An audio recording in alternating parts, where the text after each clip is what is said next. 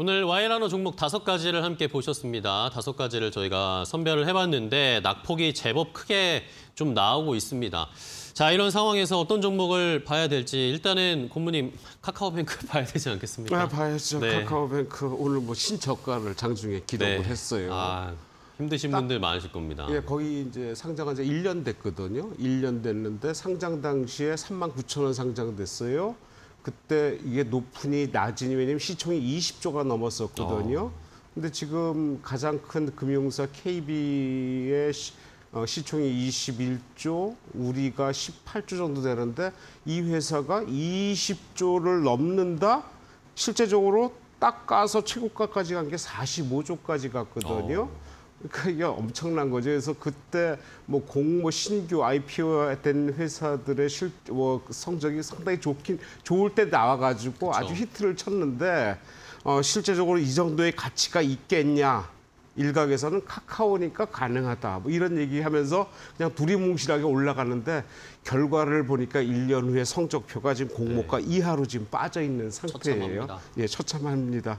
그래서 현재 시총은 한 15조인데 이 회사 영업이익이 작년에 2,500억밖에 안 돼요. 네. 좀 전에 말씀드렸던 어, KB 21조 시총을 갖고 있는 회사의 영업이익이 6조거든요. 뭐 비교가 안 되죠. 그쵸. 그러니까 이게 뭐 미래 가능성, 성장성, 확장성 여러 가지 용어를 붙인다 그래도 일단 실적이 뒷받침되지 않으면은 그 회사는 결국에서는 지- 주가는 그런 대로 또 찾아가지 않겠느냐 네. 이런 생각에 이런 생각을 할 수밖에 없다 생각이 들어요. 어 어제 그 국민은행에 어 오늘이네요. 국민은행에서 이제 어 1년 보호 예수 기간이 끝나니까 바로 물량이 나왔어요. 어 구매하고 있던 1,480만 주가 어 이제 블럭딜로 나왔습니다. 어제 종가 대비해서 8% 하락 수준이에요. 28,700원에서 오늘 저 종가는 그러니까 최저가는 그 이하로 빠지, 빠진 것 같아요. 그래서 어, 그 물량이 나오는데 어, 희한하게 외국인들이 오늘 300만 주 이상 매도를 했어요. 그러니까 어, 블록딜 영향도 있었고 기- 웬만한 개인들도 이제 좀 어떤 그 상실감 이런 데서 매도를 했을 텐데 네. 오늘 외국인들이 거의 300만 주 이상 매도를 했어요. 파네요. 특이하죠. 근데 어, 지난 한 달 동안 누적해서 외국인이 한 100만 주 정도 매도했는데 오늘 하루에 300만 주 이상이에요. 그래서 이게 외국인이 빠져나가는 건가 얘네도 보호예수 물량 갖고 있다 터는 건가라고 생각을 했는데 제 생각은 아무래도 블럭된 물량을 또 받는 과정에서 교체 그러니까 어떤 장부가를 현실화시키는 다시 그런 방법으로 아마 받는 게 아닌가라는 생각에서 외국은 매도가 많은 거는 조금 우려가 좀 덜한 거 아닌가 이런 어. 생각을 좀 해보게 네네. 됩니다. 그래서 어쨌든 간에 여러 가지 상황들이 지금 바닥에서 일단 거래가 오늘 많이 터졌어요. 그러니까 그냥 빠지지는 않을 것 같아요. 그러니까 보통 우리가 차트상으로 보면 바닥에서 대량 거래 터지면 바닥이라는 인식을 많이 하잖아요. 그러니까 네. 그냥 빠지진 않을 것 같은데 오르기도 쉽지 않을 것 같다 생각은 들어요. 실적이 안 받쳐주니까. 네. 그렇다면 현재로서는 어, 단기 trading 과정을 거쳐야 되는 게 아닌가. 그러니까, 안, 그러니까 새로 관심 있는 사람들은 장중에 단기 매매가 가능할 것 같고 기왕 갖고 계신 분들은 조금 더 참아봤다가 장중에 오를 때 매매하시는 게 더 효과적이지 않겠냐 생각이 들어서 아, 그런 trading 개념으로 어, 접근을 하시고 손절가는 오늘 장중 저가 부분을 하락하는 2만 7천 원 설정한 설정해 놓고 한번 대응해 보시기 바랍니다. 알겠습니다. 자, 카카오뱅크 오늘 많이 빠집니다. 외국인들도 일단은 천억 원 넘게 매도를 하고 있는 걸로 일단 창구에는 기록이 되고 있는 상황이고 자, 이러면서 개인 투자자분들도 많이 힘드실 텐데 뭐 카카오뱅크 작년만 해도 뭐 앞으로 최고의 뭐 금융 플랫폼이 될 거다 이런 이야기하는 전문가들 다 어디 갔습니까? 뭐 주가는 일단은 오늘 많이 빠진 상황이고 일단은 2만 7천 원 손절 라인으로 좀 제시를 해드렸으니까요. 힘드신 분들도 있겠지만 어쨌든 조금 오늘은 뭐 팔면은 또더 힘드실 거고 조금 올라갔을 때 좀 정리를 하는 전략을 세워드렸습니다. 카카오 뱅크 먼저 체크를 해봤습니다. 자 다음 두 번째 와이라노 종목도 확인을 해보겠습니다. 화면으로 함께 보시죠.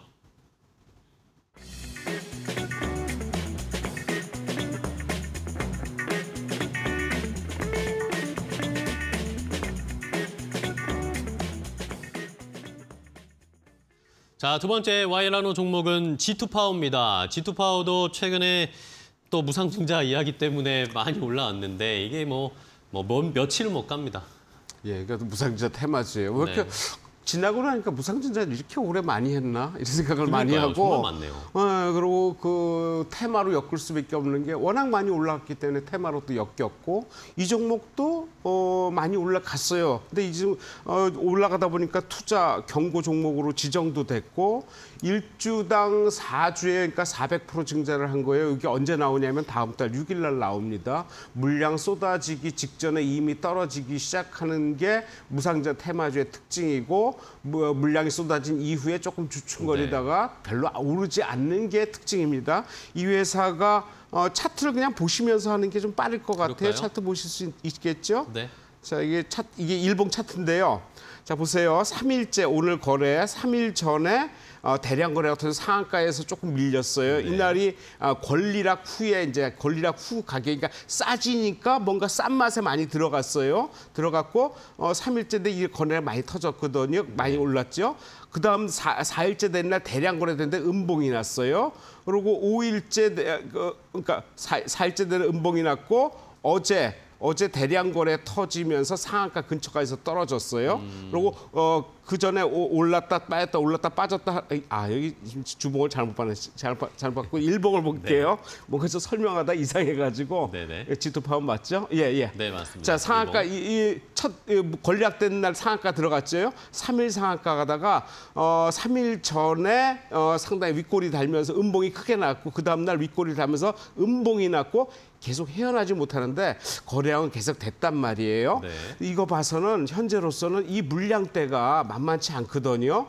이거 헤어날 수 있을까? 기존의 무상증자 테마주들의 상태는 보통 물, 어, 이렇게 가다가 이렇게 밀려 여기까지 밀려 내려오는 게 일반적이거든요. 이 종목도 그걸 따라가지 않을까라는 의구심이 들어요. 그럼 실적을 봐야 되는데 실적이 작년에는 35 흑자를 나타냈는데 1분기에 4억 적자였어요. 근데 2분기에는 좀 나아지긴 했겠지만은 이 적자 폭이 계속 어느 정도 줄어드는지 좀 봐야 될 것 같아요. 네. 이 회사가 어, 배전기 배전기 판이에요. 수배전기라는데 전력을 어, 끊었다 연결했다 하는 그런 그 어떤 그, 어, 시스템을 하는데 네네. 조달청에서 보통 이제 광급공사 수출하는데 아, 광급공사 배전기만 관련해 갖고 1위 점유율을 갖고 있어요. 그래서 이것이 어 향, 향후에 어, 할 수 있는 게 이제 태양광이나 전기차까지 그다음에 어, 원전까지도 계속 연결이 되거든요. 이런 쪽에 수혜를 받을 것 같아요. 그래서 실적은 작년에 상당히 좋았다가 올해 1분기 안 좋았는데 2분기 아직 나오지 않았지만 2분기 이후에 실적은 그리 나쁘지는 않을 것 같다. 작년만큼 갈지는 모르겠지만은 실적은 어, 1분기보다는 계속 상향되는 쪽으로 봐야 되는데 네. 아무래도 증자 테마에 엮여가지고 기존의 증자 테마했던 종목들의 실적 관계 없이 올랐다 빠진 경우가 많았거든요. 네네. 그렇다면은 좀, 아, 좀 빠져나오는 게 맞지 않겠나. 서 이것도 뭐 장중에 아, 단기 매매 가능할지 모르겠지만 일단 장중에 빠져나오는 게 맞을 것 같고 권리락 이전 가격이 한 요 정도 한 만 원 선이거든요. 그러니까 네. 어, 첫상 들어갔다가 이제 어, 증자 얘기 나오면서 올라갔다 조정받고 권략되면서 올라간 이후인데 요 가격대 한 만 원 선에서는 손절 잡고 어, 대응하시는 게 나- 어떨까 생각이 듭니다. 알겠습니다.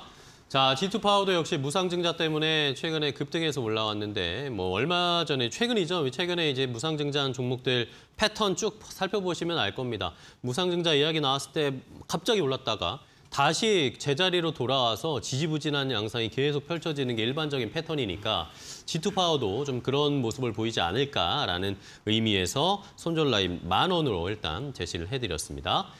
자, 마지막 와이라노 종목도 확인해 보겠습니다. 함께 보시죠.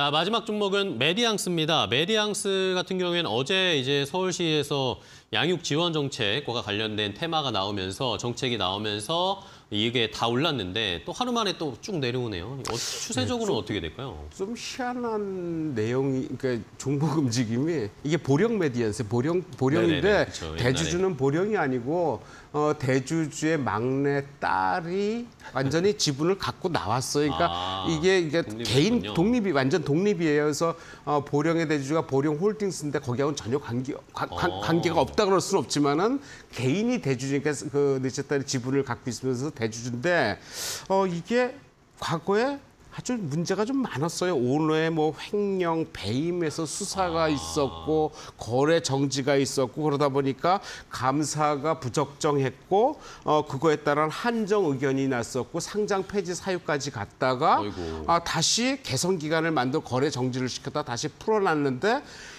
최근에 와서 그제 관리 종목으로 지정이 돼요. 왜냐하면 감사 의견 보고서를 안 냈어요. 예. 그러다 그 다음 날 바로 해제가 돼요. 감사 의견 지정 그 보고서가 어 보고서 사유가 해제됐다고. 그래서 저도 잘 모르겠지만은 관리 종목이 갑자기 하루 전에 지정 지정이 돼서 옮겨갔다가 그 다음 날 바로 해소가 돼서 옮- 다시 어 이 그 일반 보통부로 편입되는 이런 과정이 이게 흔한 일인가라는 그러게요. 생각을 할땐좀 약간 좀 의아스러워요. 근데 어쨌든 간에 종목이 그 전에 어, 며칠 에, 전날 지정됐다가 어제는 해제돼서. 올랐어요. 그러니까 어제 해제될 때 또 급등을 했어요. 그 전날 해, 지정될 때는 또 급락을 했다가 왔다 갔다 그러는데 일단은 이 회사가 그 좀 전에 말씀드렸듯이 서울시 양육지원비가 5조 5년 동안 15조 규모인데 이거와 같이 움직이는 종목들 있잖아요. 그쵸. 아가방 컴퍼니, 컴퍼니. 뭐 제로투세븐, 캐리스포, 캐리소프트 캐리소프트. 이런 데인데 일단 대장주는 아가방 컴퍼니예요. 이거 보시고 따라 매매하셔야 될 거예요. 왜냐하면 음. 실적도 아가방 매, 컴퍼니가 가장 특- 좋거든요. 작년에도 흑자, 올해 1분기에는 작년 온기만큼 어, 영업 이익이 났어요. 56억이에요. 그러니까 아가방 컴퍼니 제가 보기에는 가능성이 있는 종목이거든요. 오늘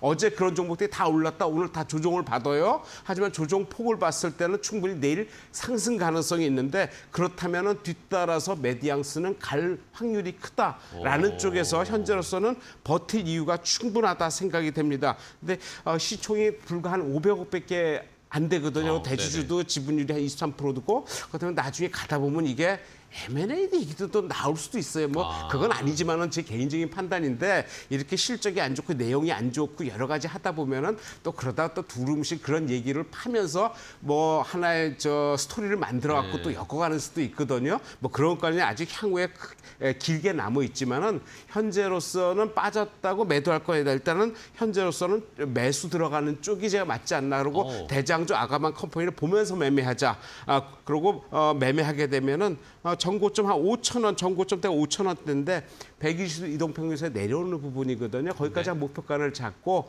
어, 손절가는 그제 종가 이탈하는 3,300원을 잡고 대응하시면 어떨까 생각이 듭니다. 알겠습니다. 자, 메디앙스 뭐 여러 가지 부침이 있고 막 이야기도 많은 종목이긴 하지만 어쨌든 이 서울시의 양육 지원 정책, 정책 테마주로서 이제 앞으로 갈 가능성이 좀 있지 않을까라는 의견. 아가방 컴퍼니를 보면서 매매를 한번 전략을 함께 따라서 세워보자라는 의견으로 주셨습니다. 메디앙스는 일단 버티자라는 의견을 주셨습니다. 자 이렇게 오늘 와이라노 세 종목을 함께 확인을 해봤습니다. 오늘 인서희 고문과 함께 자세하게 설명을 해주셨는데 오늘 좋은 말씀 감사하고요. 다음 시간에 또 뵙도록 하겠습니다. 고모님 고맙습니다. 감사합니다. 감사합니다.